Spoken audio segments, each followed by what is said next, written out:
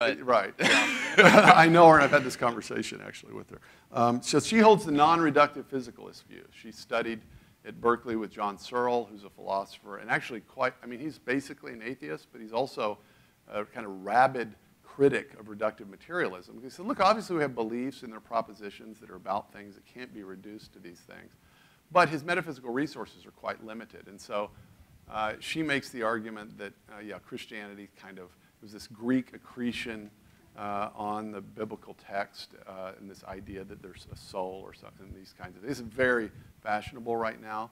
Um, I can't get into the whole argument. I don't buy it at all. I think it's complete nonsense. I think it's what it is is I learned materialism in graduate school. That is my plausibility structure, and now I'm going to structure Christian theology to be compatible with what the plausibility structure insists must be true. And my profs at Berkeley said there isn't a soul, right?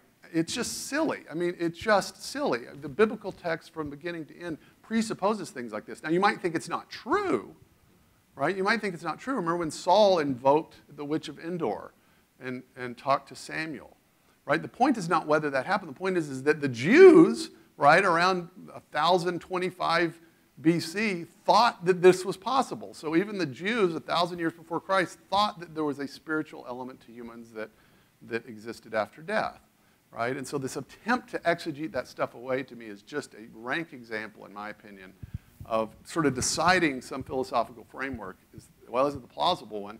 And so now you're going to sort of retroactively reinterpret Scripture to be consistent with that. I was at a conference with her, and she didn't say this was a private conversation, and so I'm going to tell you about it. And I'm getting animated about this because I truly hate these ideas, this particular idea. I hate it. Far more than Richard Dawkins, who's just being an atheist, right? Um, and I told her, I said, well, you know, the, the, um, this is being recorded, isn't it? I don't actually care. Um, it's what, you know. Uh, okay, and I was actually with some people that, that asked her this question, including a guy that was an agnostic. He said, okay, so look, the Chalcedonian understanding of the incarnation is that the immaterial God, all right, took on the nature of a human being, and that in Jesus you have someone who's fully human and fully God. And so if he's fully human, but he's also fully God, and so he has this immaterial reality, right? Um, but if the person is intrinsically material and doesn't have a spiritual component, how could the incarnation, how is that even coherent? Doesn't make sense. You want to know what she said? She said, I know, but don't tell the Fuller trustees. That's what she said. This is poison. Um, there's lots of good books on this, but there's a great book by a guy at Calvin Seminary called Body, Soul, and Life Everlasting, published by Eerdmans, that is a really good treatment of this stuff. This is one of like the 10 fashionable ideas in seminary now. Um, and if you're going to be a materialist, just be a materialist. Be, be consistent. Have some spine, and don't keep pretending that it's consistent with the Christian views. So, sorry for that. You know, I mean, I was a little vicious, but I mean, I really hate the idea. Um, I'm talking about Nancey Murphy, not Nancy Pearcey. People always, I've had this get mixed up before.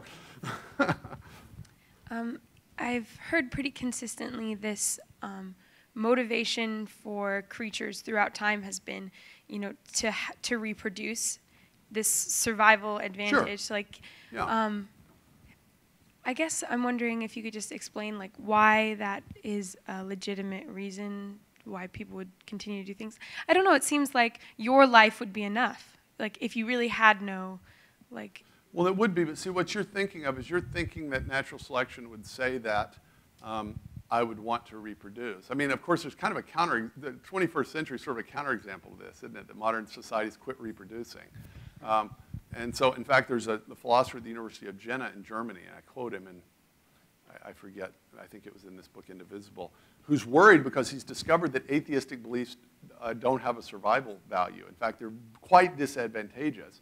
And he says, actually, the thing that has is sort of survival uh, enhancing is specific religious beliefs that you ought to have a lot of kids. And so he's worried that basically it's going to be a bunch of pronatal evangelicals, conservative Catholics, and Mormons in two, in two generations because they're the ones reproducing and there won't be any atheists. I think it's actually right.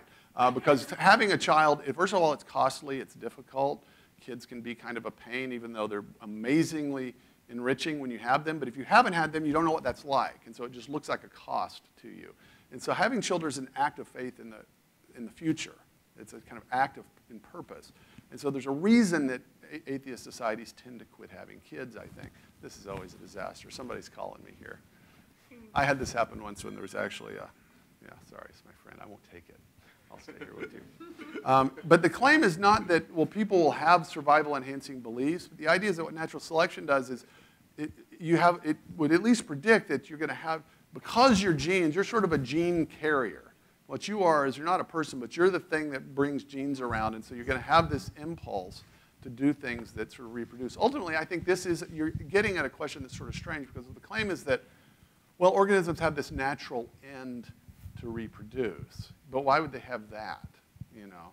And I think it's a, it's a good question. And the truth of the matter is the fact that, you know, it, it doesn't seem to be kind of an automatic impulse.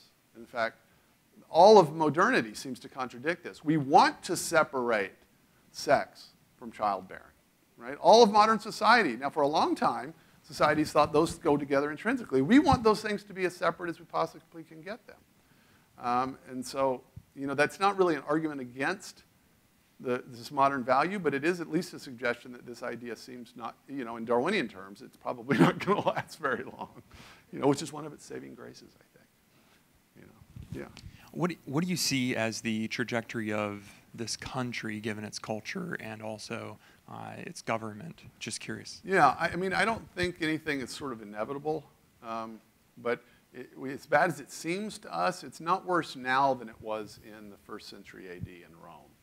Right? I mean, the, the Christians uh, initially, right, were a persecuted minority that were initially kind of confused as, well, these are Jews, and then once more Greeks started becoming Christians and Romans, then it was just this weird, aberrant kind of belief that suffered and was persecuted for several centuries.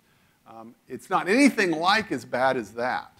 And so they didn't have the right to despair, right? And if they had despaired, it would have been wrong. Because they didn't know what the future had in store, and we are wrong to despair. It doesn't mean that the American experiment is a ultimate part of God's plan at the end. We are not guaranteed that that survives to the end. We're guaranteed that the church will survive to the end and the faithful. And so um, it helps to keep your faith in that and do everything you can in the meantime because reality is if you're American, it, it's a blessing. God has blessed us with the capacity to be able to have events like this freely. And as bad as it gets, it's a heck of a lot better than it could get. And so I don't like to counsel despair, but I do think if you just sort of run out certain economic policies, if nothing changes, we're in deep trouble, and we're definitely in deep trouble within uh, the lifetimes of those of you that are certainly in your 20s. All right. Well, thank you, Dr. Richards. You bet. Thank morning. you.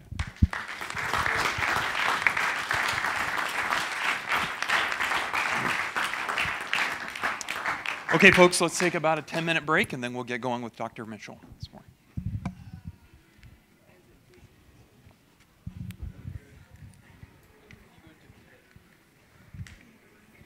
Hey, how are you? Morning. I'm so sorry. I never meant to undermine you by saying it's over. I didn't oh, no. reason out the implications of what I said. I was just being silly. No, exactly. No, it didn't bother me.